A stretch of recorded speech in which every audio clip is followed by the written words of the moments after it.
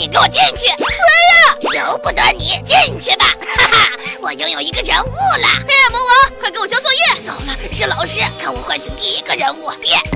小雪，你有没有看到黑暗魔王？这家伙已经十天没交作业了。没有，老师，我没见过黑暗魔王。这个黑暗魔王气死我了！哈哈哈，小雪这个人物还是很有用的。黑暗魔王，你这个可恶的家伙，快放我出来！你还要帮我的忙呢，我才不会放你出来。谢了。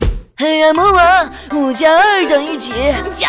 那三加五呢？六。你是木头吗？这么简单的算式都不会，真是太丢人！要说我是你爸爸了。哼，看来我还需要一个聪明的人物，就选熊妹了。哈哈。啊，我的气球！我可以帮你拿下来。那谢谢你了，黑暗魔王。先别急着谢我，我可是有条件的。什么条件？你说。那就是你要成为我的第二个人物。什么？你做梦！现在我要用小雪人物了。变。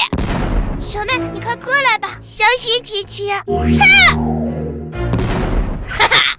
这么容易就拥有了第二个人物了，小雪，多亏有了你。黑暗魔王，你太过分了，你快放小妹出来！黑暗魔王，你这个坏蛋，竟然拿小雪姐姐骗我，快放了我们！可以，等我办完我的事儿，就放你们出来。老师，我来上课了。好啊，你黑暗魔王，你竟然还敢来上课！你这些天去哪里了？作业也不写，作业都做完？没问题，老师，我现在就做。黑暗魔王怎么这么爽快就答应了？他可是一直不做作业的。嘿嘿，我可是有小雪、熊妹两个人物，还怕写不完你这些作业。不过老师，你要先出去一下。没问题。小雪、熊妹，你们快出来，帮我写作业吧。